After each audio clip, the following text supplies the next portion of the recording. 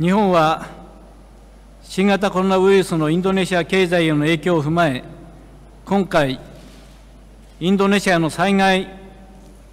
対応能力を高めるための500億円の財政支援円借款を供与する方針です。また、インドネシアの医療研究機関等に対する医療物資、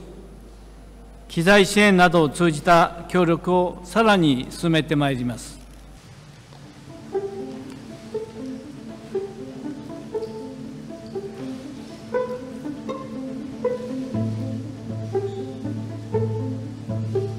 kita juga membahas upaya memperkuat kerjasama di bidang ekonomi. Jepang adalah salah satu negara mitra strategis Indonesia di bidang ekonomi.